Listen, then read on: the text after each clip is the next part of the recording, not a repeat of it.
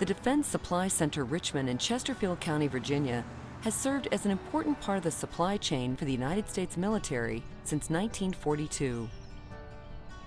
But the land that makes up that installation has had thousands of years of occupation and hundreds of years of recorded history. Located in Virginia's coastal plain southwest of the James River, this area was once home to Native Americans who occupied the site for thousands of years. One significant archaeological site has been identified near Parker Pond, which was once a natural spring. Professional archaeologists were able to date the site back to about 6,000 years ago from the spear points and potsherds that were found.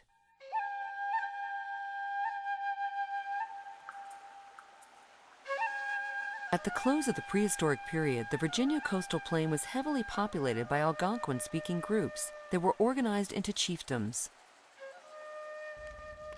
In 1607, when Jamestown was founded, English settlers encountered the largest chiefdom in what is now Virginia, named the Powhatan Chiefdom after its leader Powhatan. These Algonquin tribes hunted, fished, farmed, and traded goods with both English settlers and other Native Americans.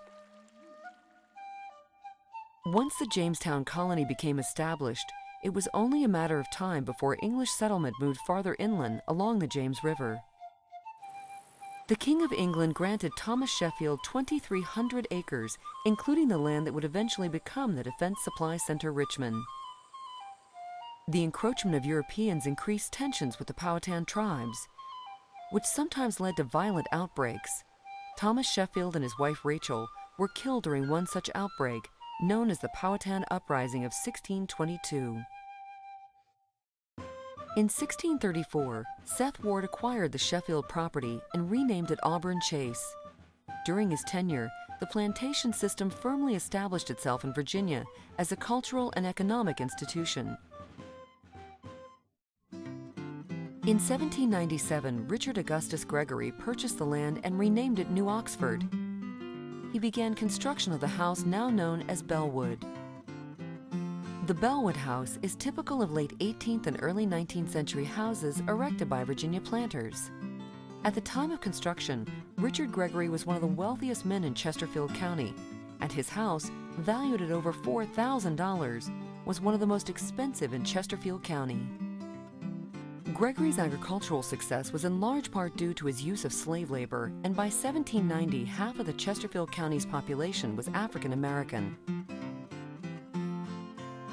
Gregory was also an investor and shareholder in the Manchester and Petersburg Turnpike, which opened in 1824 and eventually became Jefferson Davis Highway. The 20 mile road, which bisected his property, was one of the few paved roads in Chesterfield County. When Richard Gregory died in 1844, he was buried next to his wife Elizabeth in the Gregory family cemetery. The land passed down through the Gregory family to Lavinia Gregory Anderson and her husband Augustus Drury. They renamed the farm Auburn Chase. During the Civil War, Augustus Drury played an important role in the defense of Chesterfield County and the larger Richmond area. At the outbreak of the war, Drury and some neighboring farmers constructed a fort on a bluff along the eastern edge of his property along the James River. Captain Augustus Drury, commanding the Southside Artillery, led the construction of earthworks and barracks, dug artillery emplacements, and mounted three large seacoast guns in the fort. Known as Drury's Bluff or Fort Darling, the small fort was used to prevent Union boats from traveling up the James River to Richmond, the capital of the Confederacy. Completed during the first month of the war, Drury's Bluff remained active throughout the entire war and was the scene of two battles.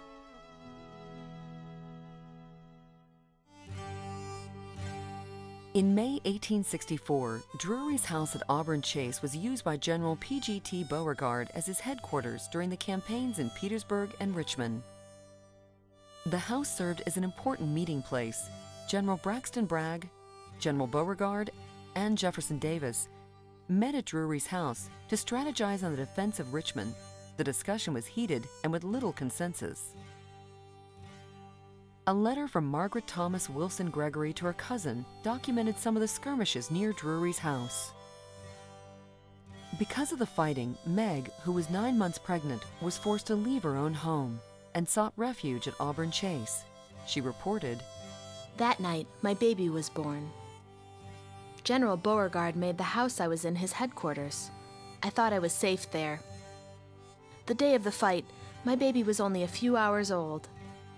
The Yankees tried to shell Mr. Drury's house. Following the Civil War, Augustus and Lavinia Drury deeded Auburn Chase to James B. Jones, who had served in the Southside Artillery. Jones died in 1886. A year later, the land was sold to James Bellwood.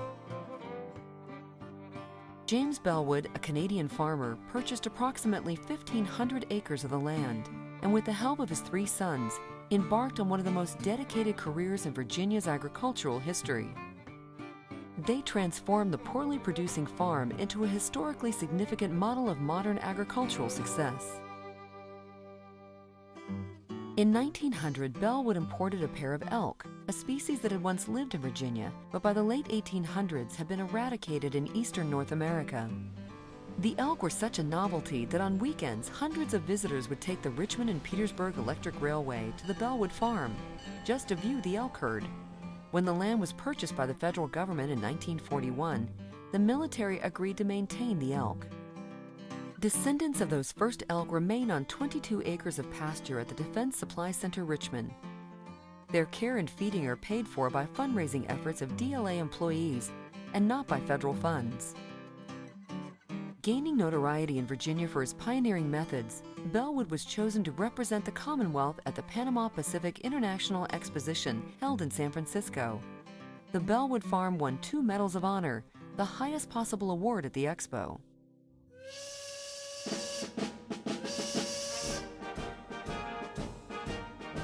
In 1941, as part of World War II preparedness efforts, the U.S. military sought to build an inland supply depot. In addition, the U.S. Army Corps of Engineers sought a facility for receiving, assembling, recreating, and holding supplies.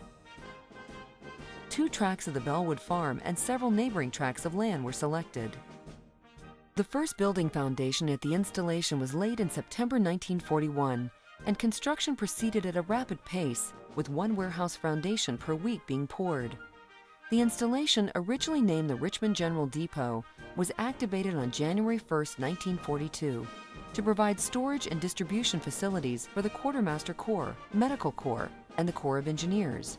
Thirteen large warehouses comprise the core of the installation. Within only a few months, Bellwood's farm was transformed into a small city. The military did preserve some of the farm buildings, including the Bellwood House, which became the Officers Club. The Gregory family cemetery behind the house was also preserved, as was pasture for the elk herd. A house that James Bellwood had built for his son and daughter-in-law, Frank and Helen Bellwood, served as Quarters 1, the home of the installation's commanding officer, until it was demolished in 2011. In 1998, during the construction of the Child Development Center, another cemetery was uncovered on the property. This unmarked cemetery included the 19th century graves of six African Americans, who were likely slaves or servants working for the families that owned the land. These graves were reinterred nearby. By March 1945, more than 350 million pounds of supplies were being shipped through the depot. The depot employed more than 8,450 employees, which was supplemented by nearly 2,000 German prisoners of war that resided on the installation.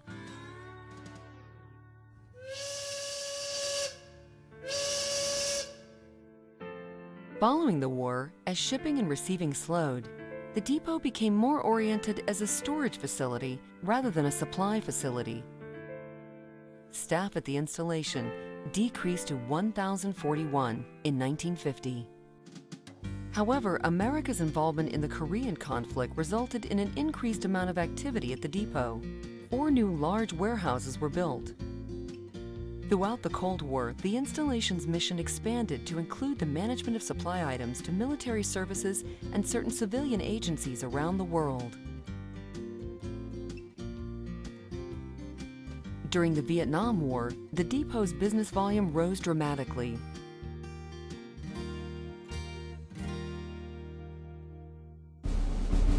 But as the military scaled back operations in Southeast Asia in the late 1960s, activity at the depot once again declined. By 1971, annual procurement had declined significantly. Since that time, the mission of the depot has evolved from storage and supply shipment to administrative oversight of these activities. After undergoing several name changes, the installation is currently known as the Defense Supply Center Richmond. Defense Supply Center Richmond is the home of DLA Aviation. DLA Aviation is a primary level field activity for Defense Logistics Agency, serving as its aviation demand and supply chain manager. DLA Aviation supports more than 1,400 major weapon systems and is the U.S. military's integrated material manager for more than 1.4 million repair parts and operating supply items. DLA Aviation directly supports the warfighter through weapon system material management, industrial retail supply, and strategic acquisition for consumable and depot-level repairable material. DLA installation support at Richmond provides cultural resource management, which preserves the material culture of the past while supporting the military mission and meeting the requirements of historic preservation laws.